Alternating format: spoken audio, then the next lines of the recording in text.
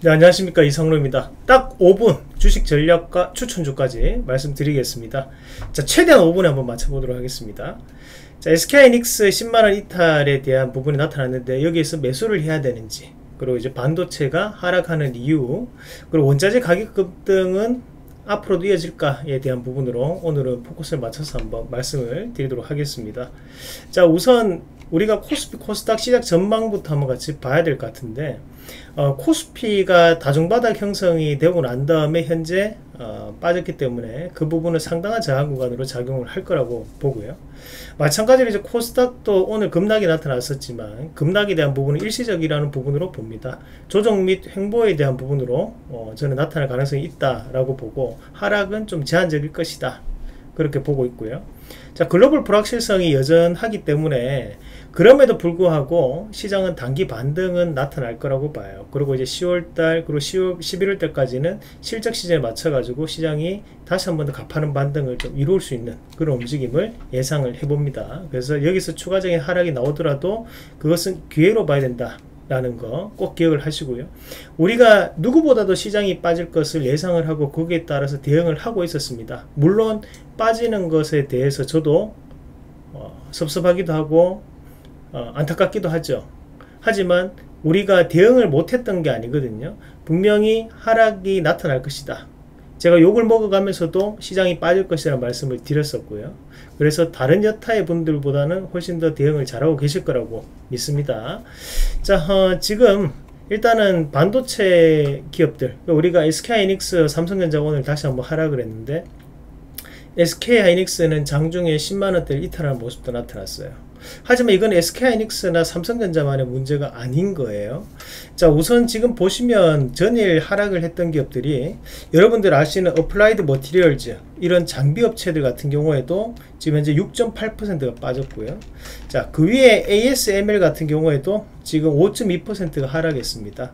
자 그리고 지금 램 리서치 같은 경우에도 전일 3.2%가 하락하는 모습도 나타났습니다 자 이 말은 뭐냐면 결국에는 글로벌적인 부분에서 반도체 기업들과 반도체 장비 기업들이 모두 다 빠지고 있다는 거죠 왜 이렇게 빠질 수밖에 없느냐라는 건데 자 일단은 유동성에 대한 감소 정책을 쓰기로 했다라는 거예요 자, 미국이 내년부터 금리 인상을 시작하기로 하고 국내 같은 경우에도 다시 한 번 더 11월 달에 금리 인상을 할 가능성이 대단히 높다고 보거든요.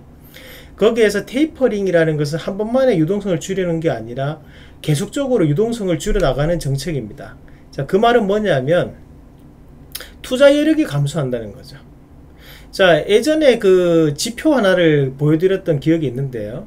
우리가 선행지수를 보면서 미국에 대한 선행지수가 하락할수록 이런 투자 여력도 감소했고 거기에 따라서 반도체라든지 기업들이 빠지는 모습들이 대체적으로 맞게 들어가는 모습들이 있었고 지금도 그렇게 부분이라고 봐야 돼요. 유동성이 일단 줄어든 투자 여력이 줄어든다는 거죠. 자 그리고 이제 반도체라는 것은 가치주의 성격을 가지지 않습니다. 뭐냐면 성장주 및 기술주에 대한 부분이고 이런 성장주 및 기술주들은 지금에 대한 가치가 아니라 미래 가치에 대해서 우리가 투자를 하고 거기에 따른 성장을 할 것이라고 보고 투자를 가 이어지는 기업들이거든요.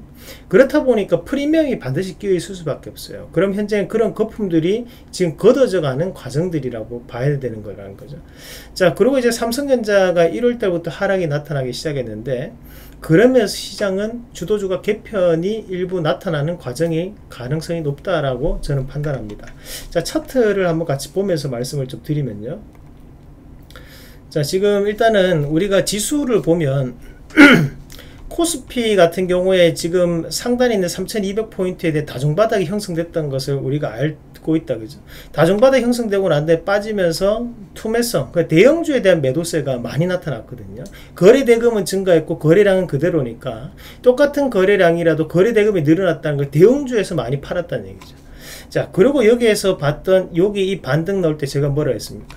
아 이 반등이 어 왜곡된 반등이다 아, 일부 반등이 나타날 수밖에 없다라는 거예요. 제한적인 반등일 것이다. 왜곡에 대한 현상이라고 했죠. 그리고 이제 주가는 빠져버렸고, 그리고 현재 다중바닥을 다시 한번 다지는 모습이었는데, 아, 여기서 못 넘어가면 위태롭다.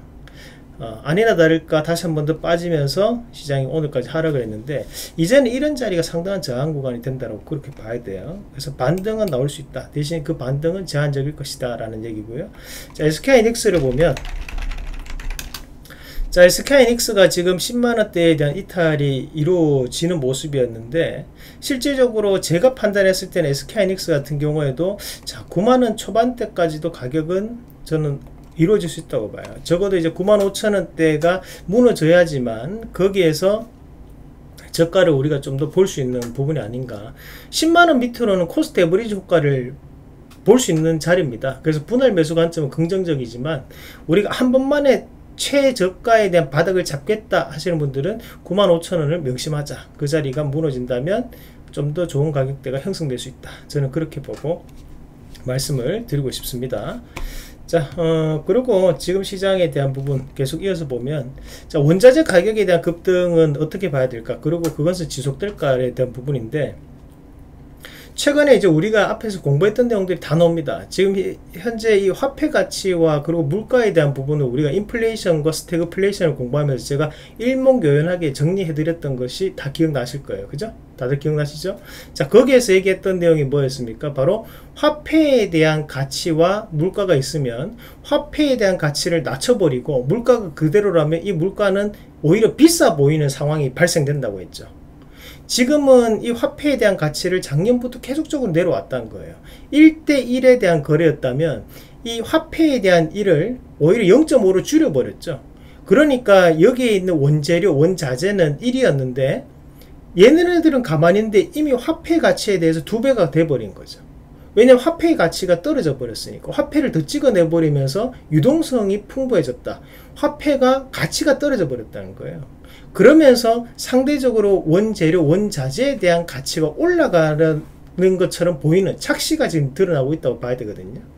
우리가 경기 회복이 우리가 예상했던 것만큼 이루어지지 않아요. 그럼에도 불구하고 수요와 공급에 대한 원칙에서 벗어날 정도로 급등 양상이 나타나는 것이 지금 현재 원자재 원재료 가격들이에요. 알루미늄 박도 그렇고요. 최근에 이런 원재료들이 상당 부분 이상 급등화가 나타납니다. 그건 뭐냐면 화폐에 대한 가치를 낮췄던 것이 실물 경제에 미치는 여파가 이제 드러나고 있다는 거예요. 자, 미국의 제롬 파월 의장이 얘기했던 것이 뭐예요? 바로 인플레이션에 대한 부분 자체를 해결할 수 있는 부분이 딱히 마땅치 않다고 하죠. 지금 현재는 이것을 해결하기 위해서 테이퍼링을 하는데 테이퍼링을 급하게 해버리면 어떻게 된다? 오히려 역효과가 나버린다. 가게가 힘들어진다.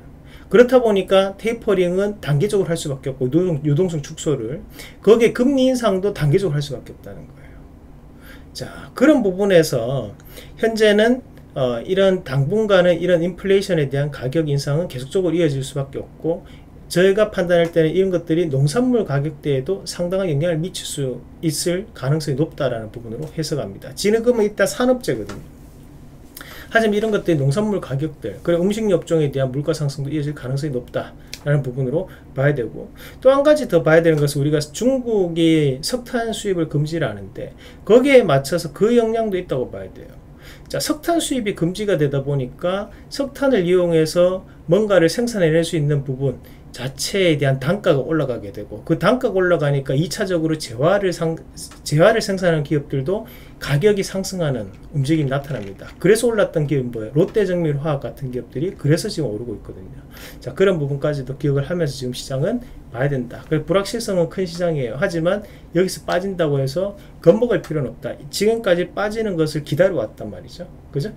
현금을 분명히 가지고 계셨을 거예요. 이 방송 보고 계신 분들이라면 그 현금을 지금부터는 집행해야 되는 시기가 왔다. 그렇게 보시면 됩니다. 제가 대형주 정확하게 바닥을 한번 잡아보도록 하겠습니다.